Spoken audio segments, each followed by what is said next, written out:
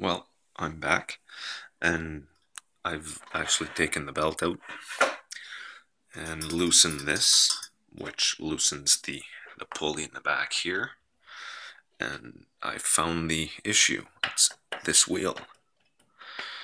It's all loose, so it's hard to know when this is tied on, but it's all loose. So I'm gonna fix that and hopefully uh, it'll it'll work.